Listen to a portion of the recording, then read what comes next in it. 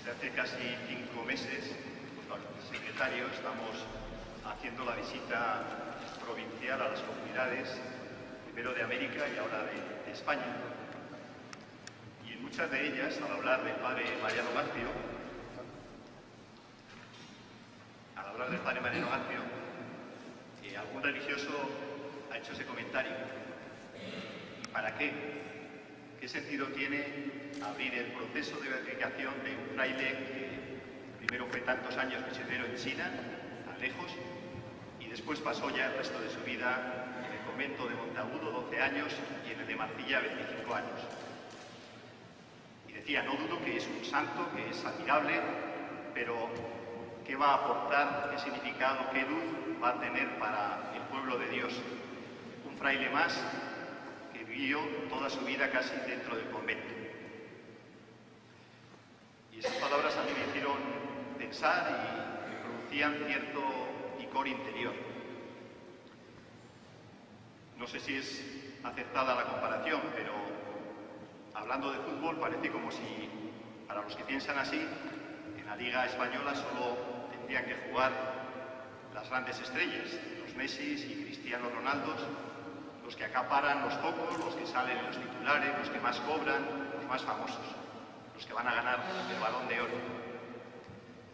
Si fuera así, pues pobre de, de nuestro querido y modesto Sasuna y de tantos otros jugadores que, que nunca van a competir, no son tan buenos como ellos, pero que son un ejemplo muchas veces de honradez, de entrega, de profesionalidad.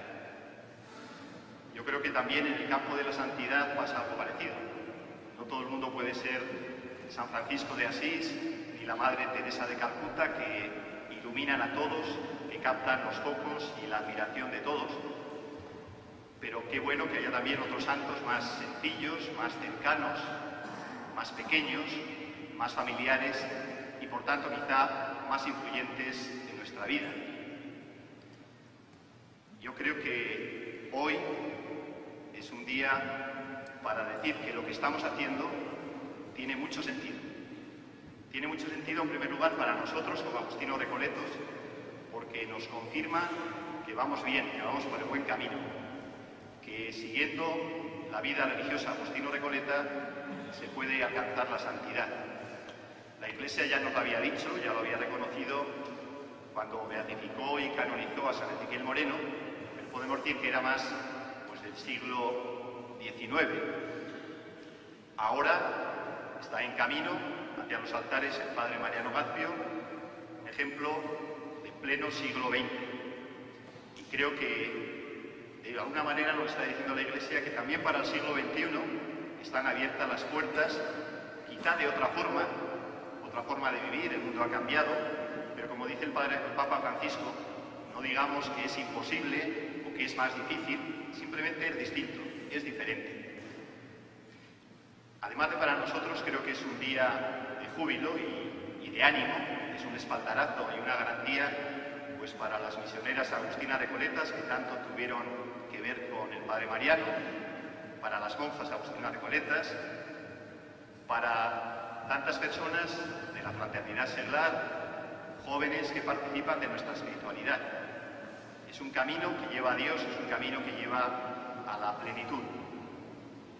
Y creo que también es, tiene que ser un día de ánimo y de júbilo para todos nosotros los que estamos participando y a los que os agradezco vuestra presencia en esta celebración. Porque nos está diciendo que la santidad es posible, que estamos llamados a ser santos, que se puede ser cristiano alegre y feliz, que se puede vivir con gozo y que no hay que hacer cosas extraordinarias. Decía el padre José Javier en la charla que el padre Mariano plantaba higueras, hacía paquetes, ponía sellos, barría los pasillos. También ahí se crece en la santidad, haciendo con mucho cariño, con mucha caridad, con mucho amor las pequeñas acciones de cada día. Podemos hacer sencillamente nuestra vida, nuestras obligaciones, nuestras responsabilidades y podemos vivir nuestra vida en clave de vocación y de consagración a Dios, de servicio a los hermanos y de entrega a la Iglesia.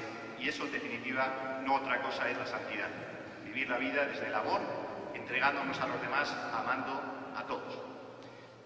Quiero agradecer a Francisco el detalle y el gesto de desplazarse desde Pamplona, al padre Eusebio que ha venido precipitadamente de un compromiso en Logroño y a todos los que os habéis desplazado del pueblo de Marcilla, de Monteagudo, de la Reina, a toda la familia que lo está viviendo con especial cariño y emoción. Creo que es un momento de gozo, no porque todavía haya ocurrido nada, sino simplemente es un paso adelante en ese reconocimiento, en esa gratitud hacia el ejemplo, el buen olor de santidad que el Padre Mariano dejó en todos los que conocimos y vivimos con él tantos años. Tenemos que dar gracias a Dios porque Él es el Santo, Él es el que nos da el Espíritu Santo y es el que nos santifica. Nosotros somos vasijas de barro en los cuales luce su luz y sopla su Espíritu. Y tenemos que dar gracias porque tenemos un intercesor que, camino a los altares, cerca de Dios, estará siempre cuidando de nosotros, velando por su orden, por su provincia, por sus frailes, por tantas personas sobre todo un cariño especial para la misión de China en la que dejó tantos años de su vida, los primeros, los mejores, y donde la luz de la fe, la luz de Jesucristo está fuerte, está creciendo y está brillando. Gracias a todos y que un día, Dios así lo quiera, podamos ver al Padre Mariano beatificado o canonizado. Mientras tanto, nos acogeremos a su recuerdo, a su cariño y a su intercesión.